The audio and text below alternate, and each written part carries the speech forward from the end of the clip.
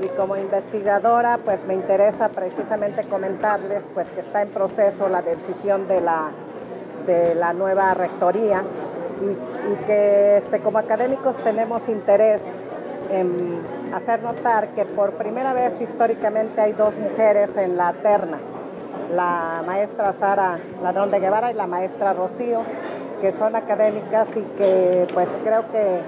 nosotros consideramos que la mujer que ya hizo historia con la, con la doctora Sara Ladrón Guevara, por ser la primera mujer en la rectoría, pues consideramos que la decisión del, del cuerpo académico de que lo decide, que es el, el este, la Junta de Gobierno, debe decidirse la continuidad del género. La mujer ha estado en la lucha por las oportunidades en la administración pública y la Universidad Veracruzana, como aunque es, autónoma, forma parte del sector educativo de lo que es el sistema de gobierno. Entonces consideramos que las mujeres pues tenemos que apoyarnos y yo como mujer apoyo al género precisamente para que la Junta de Gobierno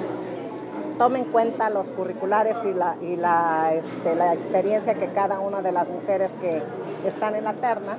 pues sean precisamente consideradas para la decisión con preferencia con, con el género masculino,